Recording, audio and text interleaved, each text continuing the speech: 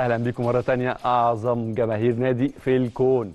والبطولة دي على فكرة كمان بتأكد على حاجة مهمة جدا إنه الأهلي يغن يغرد افريقيا منفردا.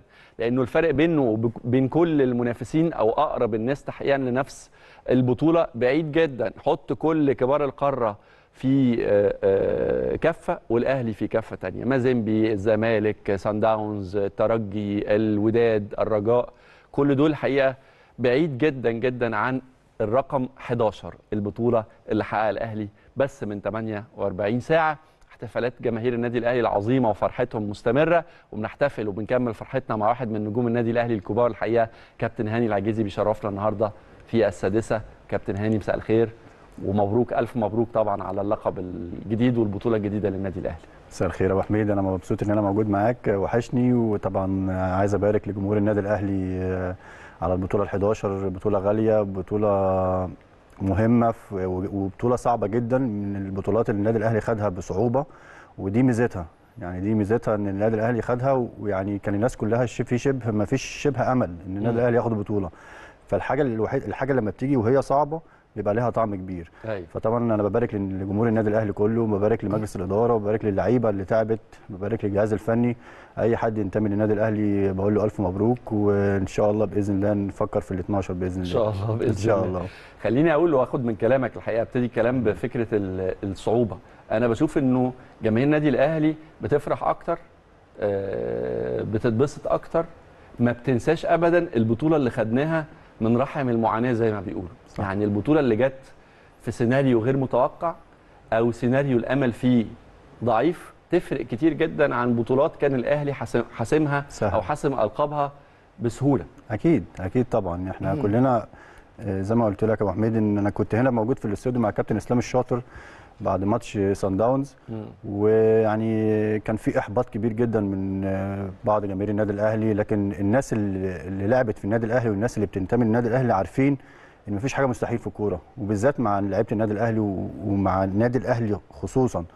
وده اللي شفناه. يعني كلنا حتى لو في بصيص أمل لواحد في المية لا ما دام آه، عندك آه، أمل اتمسك بيه وكل حاجة بتيجي بالتعب. وشفنا شفنا النادي الأهلي آه، يعني السنة اللي فاتت آه، كان في ناس كتير بتتكلم على بعض لعيبة النادي الأهلي إن هي لا تصلح للنادي الأهلي.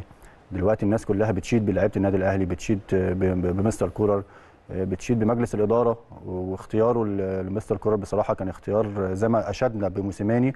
بصراحة شابوه لكابتن آه، محمود الخطيب والمجلس الإدارة كله باختياره مستر كولر.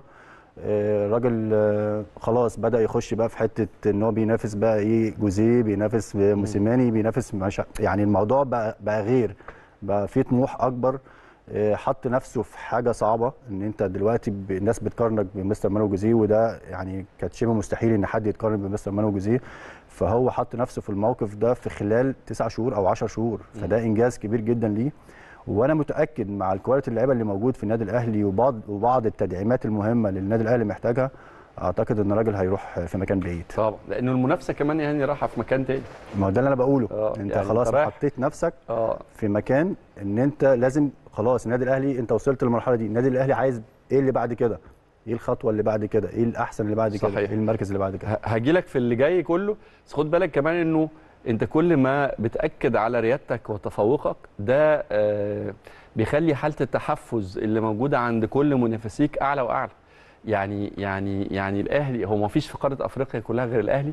فاهم قصدي؟ يعني. بحاول دايما أحط نفسي مكان ال ال- ال- المنافسين كل وكلهم فرق كبيرة. سان داونز فريق كبير الترجي الوداد آه، الرجاء آه، المولودية. يعني كلها فرق كبيرة وعندها تاريخ وقدمت نجوم كبيرة جدا. فبالتالي فكرة ان الاهلي يسيطر دي أعتقد بالنسبة لهم هتبقى فكرة مرفوضة. وخلاص أنا مش أنا حاسس إن هم الناس بدأت تهمل. بصراحة. يعني الله يكون في عونهم بصراحة. بجد والله العظيم آه، أنا لما يكون ليا منافس زي النادي الأهلي لا الموضوع صعب.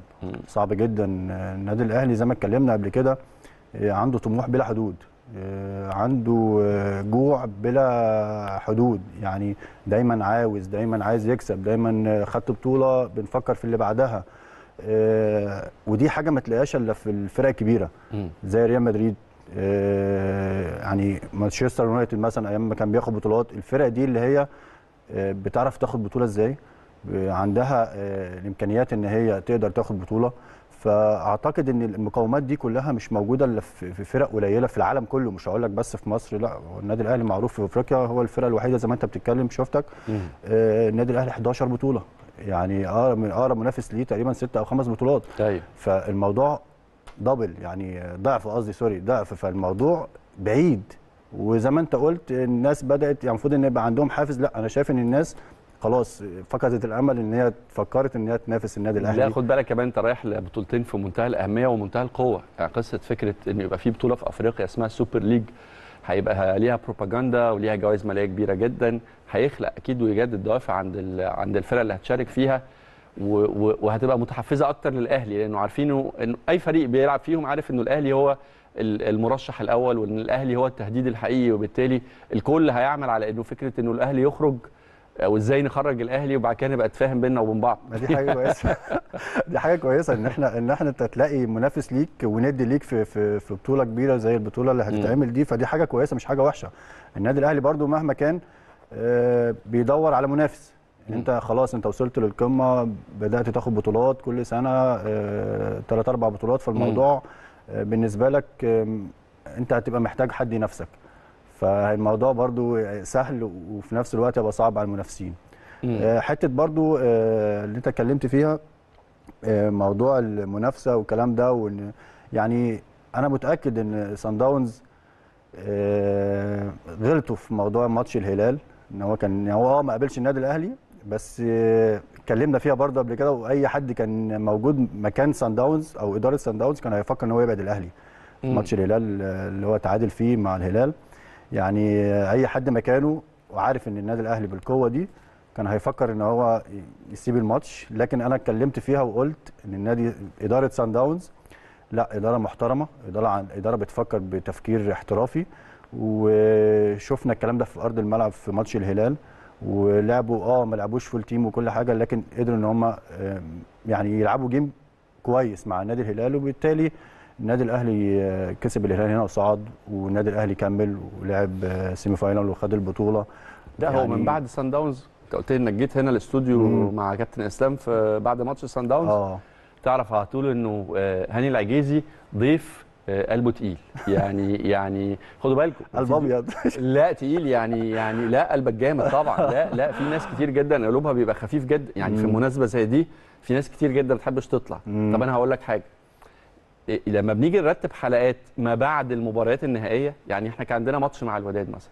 لما تيجي ترتب حلقات ولسه النتيجة مش معروفة. الأهلي ممكن يكسب والأهلي برضه ممكن يخسر. صح. في ناس كتير جدا بتقول لك ما, ما, يعني ما تطلبنيش ما تكلمنيش في الأيام دي. أنا ما أقدرش. لو لا قدر الله النتيجة ما جاتش في صالحنا ما أقدرش أطلع أقابل الناس. طب عشان تعرف برضه جزء من صعوبة الشغلانة. طبعا. يعني طبعاً. يعني إنك أنت تطلع تكلم جمهور طبعا. في ظروف صعبة في ناس كتير تخاف من ده. عشان كده بقول إنك أنت قلبك قاعد. يعني طب أقول يعني- لك على حاجة آه. كمان. أنا أبو علي مكلمني من قبل الماتش. آه. وأنا متأكد إن الاهلي انت كنت معانا على التليفون هنا يوم كان معانا كابتن أشرف وقلت لي هتجيلي هتشرفنا الثلاث بالظبط قلت لي معاك قبل الماتش. فعلا كان يومها فعلا وأبو علي كلمني وظبط الحلقة قلت له أنا هاجي لأن أنا متأكد وواثق